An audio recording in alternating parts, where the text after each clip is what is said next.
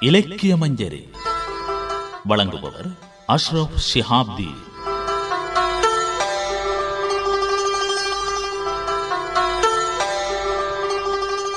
இலக்கிய மஞ்சரி நேயர்களுக்கு அஸ்லாம் அலைக்கும்.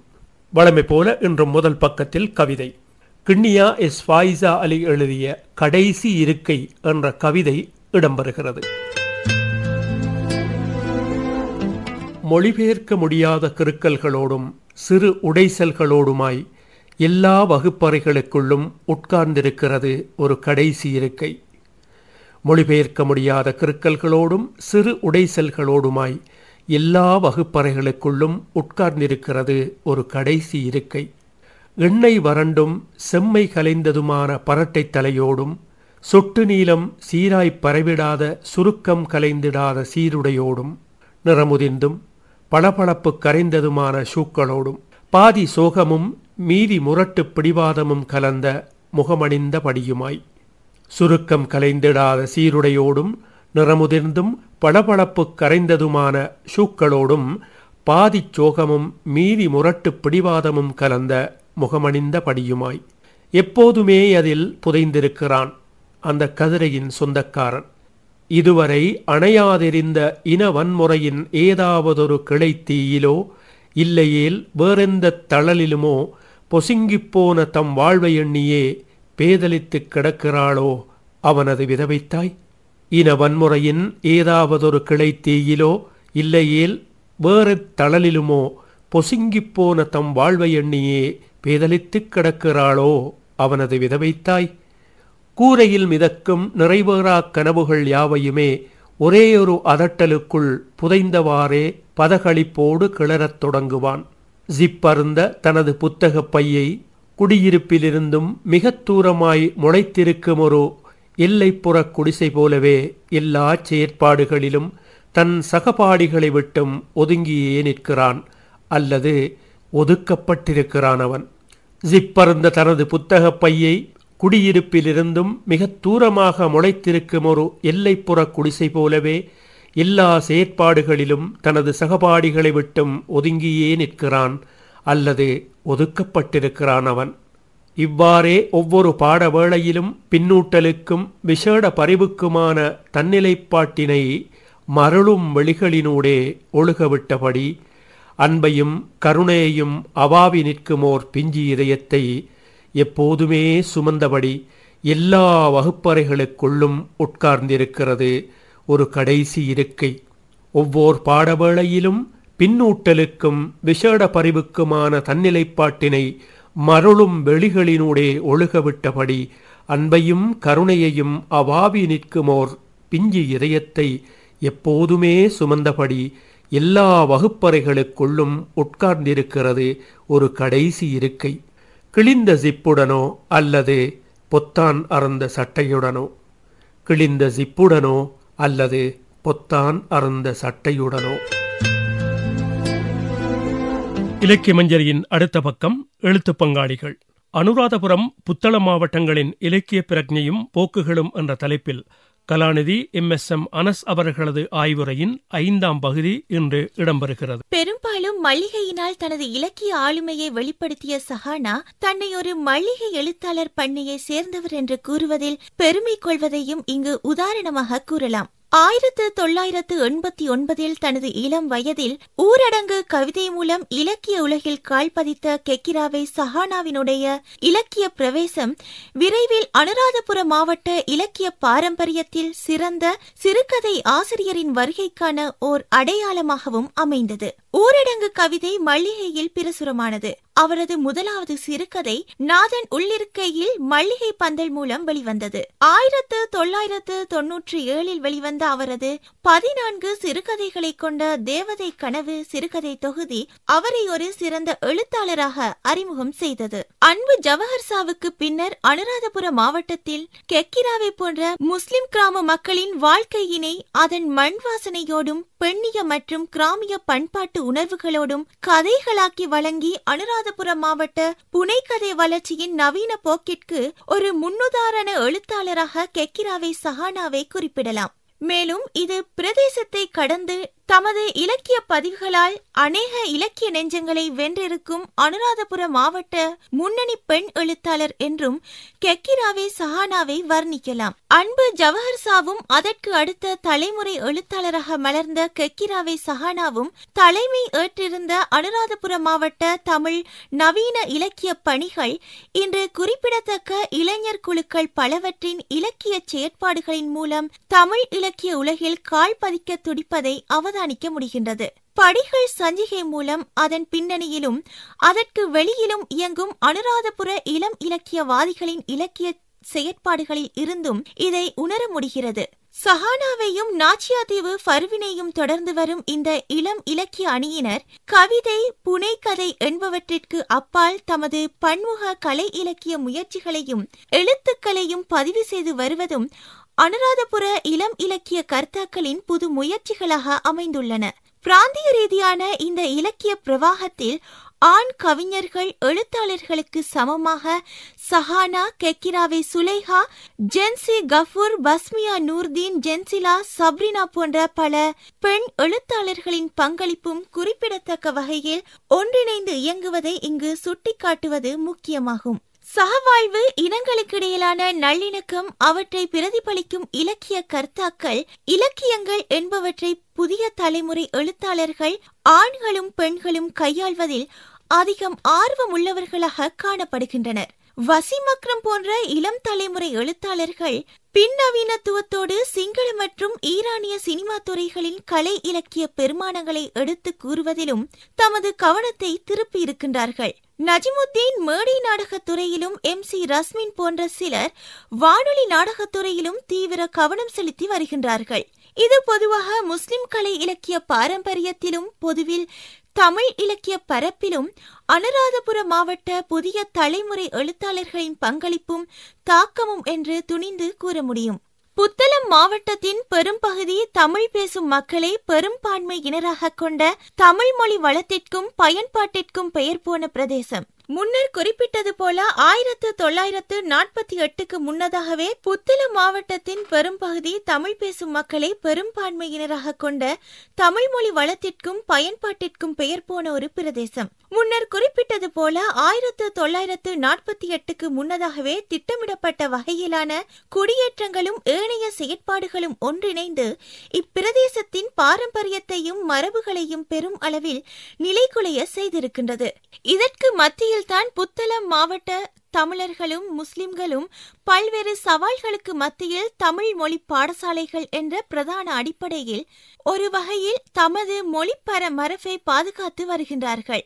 கவிஞர் ஜவாத் மரைக்கார் குறிப்பிட்டிருப்பது போல் புத்தளம் மாவட்டம் தமிழ் பேசும் மக்களை பெரும்பான்மையினராக கொண்டிருந்த காலத்திலும் சரி அதற்கு பின்னரும் சரி இங்கு காணப்படும் கலை இலக்கிய பங்களிப்புகள் ஒப்பீட்டளவில் மிக குறைவே ஆகும். மேலும் இத்துறைகளில் பங்களிப்பு செய்த தமிழ் முஸ்லிம் இலக்கியவாதிகள் எழுத்தாளர்கள் எண்ணிக்கையும் மிக மிக குறைவானதாகும். பத்தொன்பதாம் நூற்றாண்டிலும் இருபதாம் நூற்றாண்டின் முற்பகுதி வரையும் வாழ்ந்தோரான சேகு இஸ்மாயில் புலவர் சேகு அலாவுதீன் புலவர் அப்துல் மதீது புலவர் என்பவர்களோடு குறைந்தது பத்திற்கும் அதிகமான ஏனைய கிராமிய புலவர் பரம்பரையினரின் அடிப்படையில் இருந்துதான் புத்தளத்தின் இலக்கிய அடிப்படையினையும் போக்கையும் அனுமானிக்க வேண்டும். ஆயிரத்து தொள்ளாயிரத்து இருபத்தி ஒன்பதாம் ஆண்டு அந்தகரான வரகவி சகு அலாவுதீன் எழுதி வெளியிட்ட நவவண்ண கீர்த்தனை அச்சில் வந்த முதலாவது இலக்கிய நூல் எனலாம்.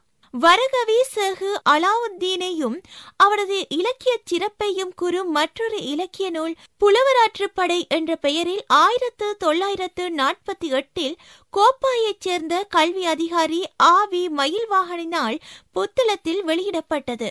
ஆயிரத்து தொள்ளாயிரத்து ஐம்பது அறுபதுகளில் பரவலாக இலங்கை முழுக்க புதிய மாற்றங்கள் இலக்கிய துறையில் நிகழ்ந்து வந்த போதும் புத்தளம் மாவட்டம் ஒப்பீட்டு ரீதியில் மிக குறைவான மாற்றங்களை ஏற்பெற்றது.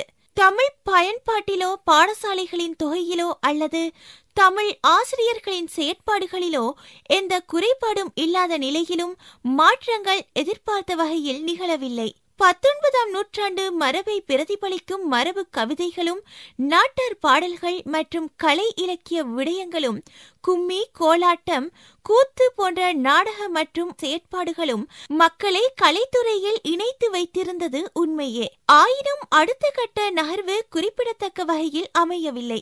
காத்தான்குடியில் கல்முனையில் ஏராவூரில் அனுராதபுரியில் மன்னாரில் திக்வல்லையில் கொழும்பில் கெக்கிராவையில் யாழ்ப்பாணத்தில் நிகழ்ந்த அறுபது எழுபதுகளின் தாக்கங்கள் எதுவுமே இங்கு சொல்லிக் கொள்ளும்படியாக நடைபெறவில்லை. சுதாராஜ் சோலைக்குமரன் ஜவாட் மரைக்கார் என்பவருக்கு அப்பால் எனது மனதில் யாருடைய பெயரும் பதிவில் இல்லை. குறிப்பிடத்தக்க இலக்கிய சஞ்சிகைகளின் தோற்றங்களும் இங்கு நிகழ்ந்ததாக தெரியவில்லை. அவ்வப்போது சில சஞ்சிகைகள் தோன்றி மறைந்திருந்தாலும் அனுராதபுரம் மாவட்டத்தில் அல்லது திக்வல்லையில் நிகழ்ந்ததைப் போல நவீன இலக்கிய வேட்கையோடும் தேடுதலோடும் தொடர்புள்ள சஞ்சிகைகளாக அவை இருக்கவும் இல்லை. நவீன இலக்கிய நூல்களின் வெளியீடுகளோ நவீன இலக்கிய போக்குகளுக்கு உந்துதல் தரக்கூடிய இலக்கிய செயற்பாடுகளோ பொதுவாக இங்கு இன்று வரை நடைபெறுவதில்லை என்றே சுருக்கமாக கூறலாம். அடுத்து வருவது பாடல் பக்கம். அண்மையில் மறைந்த அல்ஹாஜ் என்னும் நூர்தீன் அவர்கள் பாடிய ஒரு பாடல். பிஸ்மில்லாஹிர் ரஹ்மானிர் ரஹீம் எல்லா புகழும் எழிலார் வணங்கும் அல்லாஹ் உனக்கே. அல்ஹம்துலில்லாஹ். இஸ்லாம் தன்னை பாரினிலே இமை போலவே காத்திடதானே. இருலோகமும் புகழ் கூறிடும் இரசூல் தன்னை எமக்களித்தோனே இகமாந்தர்கள் துயர் போக்கிடும் இணையில்லா யாரகுமானே. இனிமை தரும் இசை பாடிட இதமாய்த இசை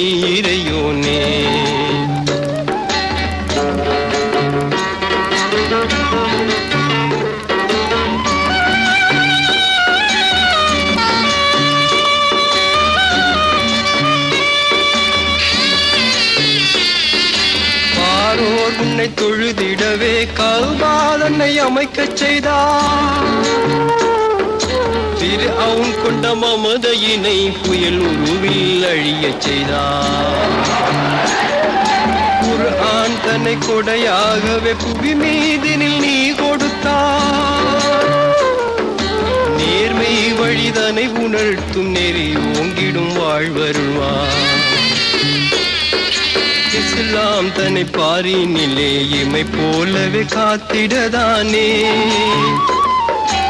இருலோகமும் புகழ் கூறிடும் இரசூல் தன்னை எமக்களித்தோனே இகமாந்தர்கள் துயர் போக்கிடும் இணையில்லா யாரஹ்மானே இகமாந்தர்கள் துயர் போக்கிடும் இணையில்லா யாரகுமானே.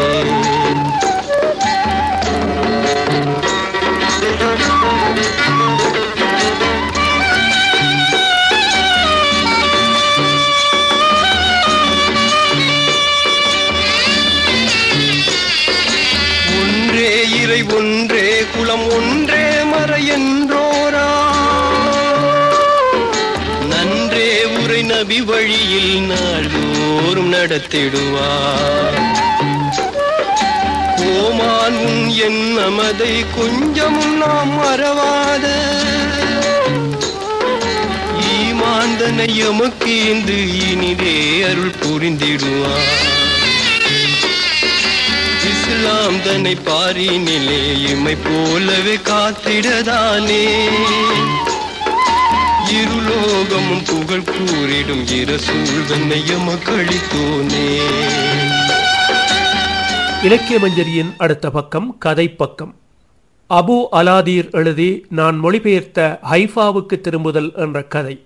இது தனது இழக்கப்பட்ட நகரத்தின் மீதான ஒரு மனிதனின் கதையை சொல்லிச் செல்கிறது. பலஸ்தீனத்தை மையப்படுத்திய இக்கதை ஓர் உண்மை சம்பவமாகும். மேற்கு கரை நகரான நப்ரஸில் உள்ள அயற்புறத்தில் மிக நீண்ட காலமாக நாங்கள் வசித்து வந்தோம். அன்பும் எளிமையும் வறுமையும் கொண்ட வாழ்க்கை. இருந்தபோதும் எமது நிலத்தின் மீதிருந்த நேசமும் அங்கு வாழ்ந்த மக்களுக்கிடையேயான உறவும் மிகவும் ஆழ வேரூன்றியிருந்தது. பாரம்பரிய பண்புகளையும் கலாசாரத்தையும் எந்த ஒரு நிலையிலும் இழந்து விடாமல் அங்கிருந்தவர்கள் வாழ்ந்து வந்தனர். தான் பிறந்து வளர்ந்து மற்றும் எனது சிறுபிராயம் கழிந்தது எல்லாம் ஷேக் முசல்லம் என்ற இந்த பழம் பெருங்குடியிருப்பில்தான். அந்த பிரதேச வாழ்வின் ஞாபகங்களும் கதைகளும் மரணிக்கும் வரை நினைவை விட்டு அகலாதவை. குறிப்பாக எமது அயலில் வசித்த அபு அலாபத்தின் கதை எனது நெஞ்சை தொட்ட ஒரு கதையாகும். அபு அலாபத் அங்கே ஓர் அகதியாகத்தான் வாழ்ந்தார். ஏனென்றால் அவரது சொந்த நகரான ஹைஃபாவிலிருந்து அவரை துரத்திவிட்டிருந்தார்கள். ஹைஃபாவை பற்றி பேசுவதை அவரால் ஒருபோதும் நிறுத்த முடியவில்லை. அழகுமிக்க ஹைஃபா நகரில் பிறந்து வளர்ந்த ஒருவரால் அவரது இளமை நினைவுகளை மீட்டாமல் எப்படித்தான் இருக்க முடியும்?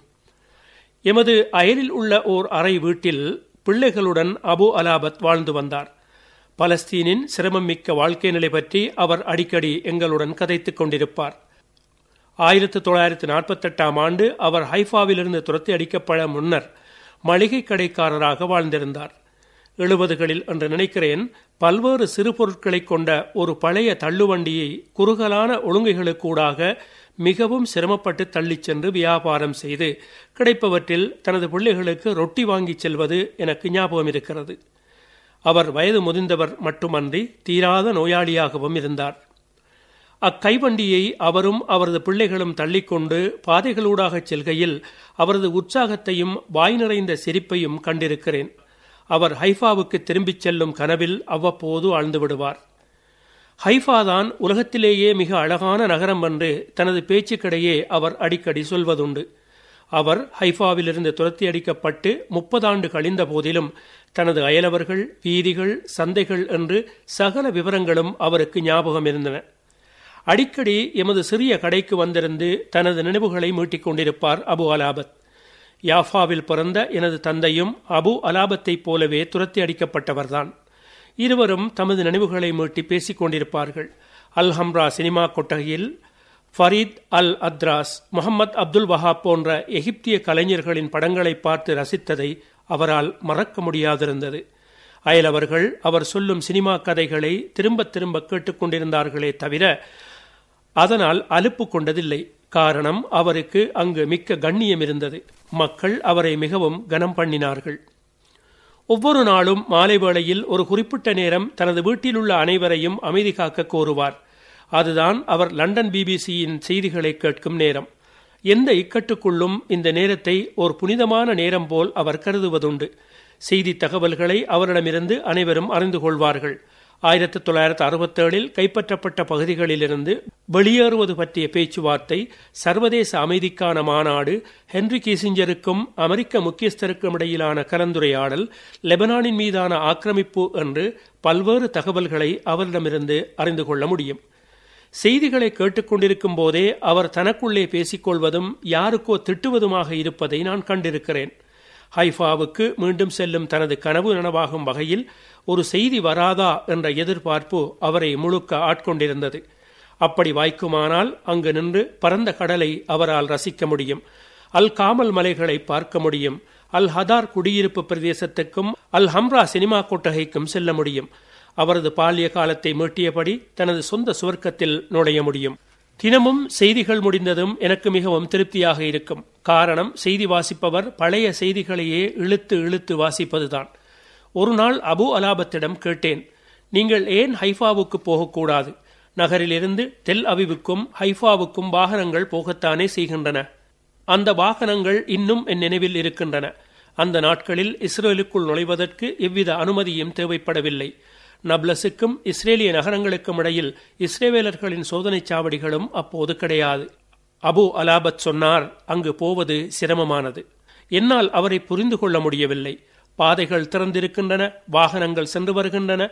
நப்லஸிலிருந்து ஹைஃபா இரண்டே இரண்டு மணித்தியால பயணத்தூரந்தான் அப்படி இருக்கும்போது இவரால் ஏன் செல்ல முடியாது? வாய் திறந்தால் ஹைஃபா பற்றியே பேசிக் கொண்டிருக்கும் இந்த மனிதருக்கு தனது சொந்த நகரை பல ஆண்டுகளுக்கு பின் சென்று பார்த்து வர முடியுமல்லவா அடிக்கடி மனிதர்கள் கனவுகளில் திளைக்கிறார்கள். நிதர்சனத்திலிருந்து விலகி கனவில் வாழ்வதையே விரும்புகிறார்கள். கனவுகள் மெய்யாவதிலிருந்து விலகி நிற்க எல்லா வழிகளிலும் முயல்கிறார்கள். தங்களது ஞாபகங்களை நினைவுகளாக இதயத்தில் சேர்த்து வைக்க விரும்புகிறார்களே ஒழிய பூமியில் பதிக்க விரும்புவதில்லை.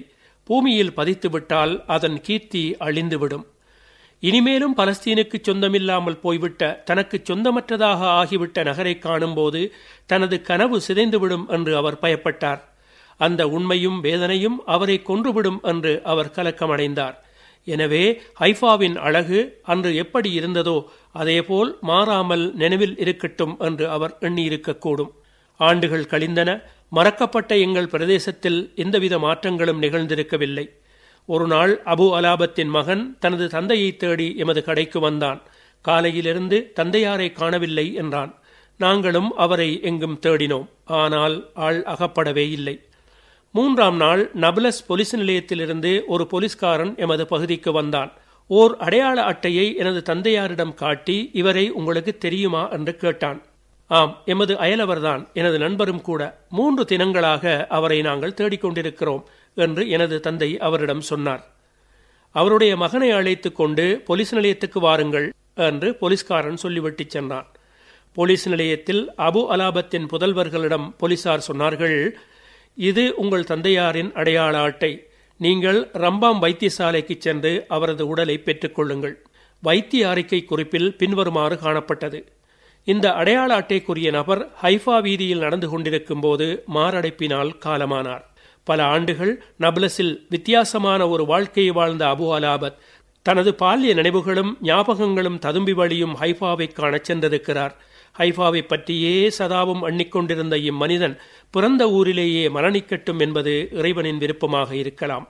ஹைஃபாவை அவரால் மரணம் வரை மறக்க முடியவில்லை. ஒவ்வொருவரின் ஆத்மாவிலும் இதயத்திலும் ஒன்றிப்போன ஒன்றை எப்படி மறக்க முடியும்? தனது கூட்டுக்கு திரும்ப விரும்பும் புறாவைப் போல சிறகடித்து ஹைஃபாவையே எண்ணித் துடித்த அவரது இதயம் இந்த உலகத்தை விட்டுச் சென்று விட்டது. இந்த அளவில் இன்றைய நிகழ்ச்சியை நிறைவுக்கு கொண்டு வருகிறோம் நேயர்களே. இன்றைய நிகழ்ச்சியில் என்னுடன் கலந்து கொண்டவர் ரைஹானா ஏ அசீஸ். அஸ்ஸலாமு அலைக்கும் வரமத்துல்லாஹி வபரகாத்து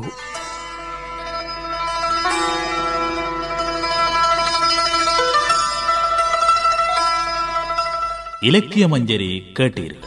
வழங்கியவர் அஷ்ரப் ஷிஹாப்தி. நிகழ்ச்சி தயாரிப்பு ஏ எம் முஹம்மது ரலீம்